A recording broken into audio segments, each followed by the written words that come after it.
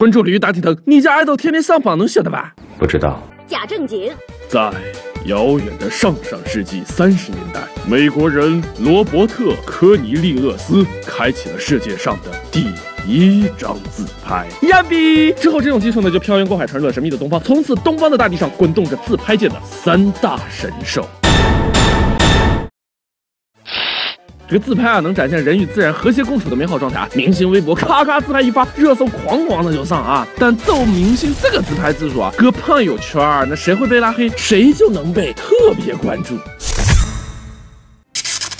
哎，自拍是啥？那就是为了展现颜值的美。要想拍好看，首先角度很重要。最怕的是啥？不找角度，随便拍个根本就不变角度。哦，那最不爱找角度的是谁呢？说来听听。最爱的就咔咔正面怼大脸，一张照片只有五官的冰冰 fun and 当当当当当当烟呐！讨厌。就这种我的照片里只能有我的自拍，啥感觉？大眼睛、白皮肤、美、妆容、精致。但大头照看多了吧？有点头晕。那比不爱找角度更可怕的就是找不准角度啊！啥后果呢？轻者看起来不像自己，重者那就是吃偶。你就看李沁啊，在电视剧啊、什么活动上啥的，妥妥的美少女啊，自拍里啥样呢？这样这样的，and 这样。天哪！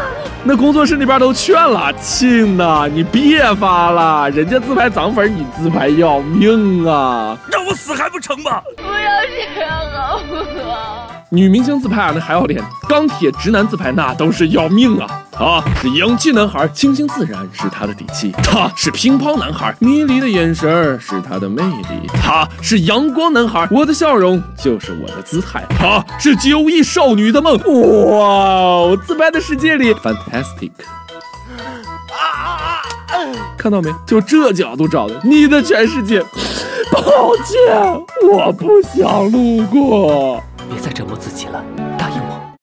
角度找不好，颜值受影响，表情不控制，哎，那就变魔性了啊！很多人自拍，那都知道自己哪个表情最好看，然后呢就咔咔咔一百张自拍，那就往朋友圈甩，那都一个样啊！甜美小花赵丽颖自拍的秘诀就是尬笑，从春秋尬到那个冬夏，我就给你看，有什么不一样？我最和你像个石头一样。我身边也有这种朋友啊，明明都是同一个表情，还要让我选哪张最动人？我不想知道。还有这个武力峰峰和千玺，一个微笑，一个严肃，欢迎大家来找茬。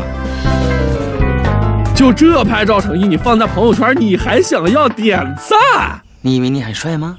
切！那表情失控的又是啥样的？来上娱乐圈两大豌豆射手，自己拍和别人拍，带动别人一起拍。我，对方拒绝点赞并选择拉黑。再见。那说了这么多自拍小 tips 啊，那咱们现在就来看看真正的好自拍。怼大脸啊，永恒四十五度啊，什么胡生 dog 的磨皮啊，一专用小贴纸。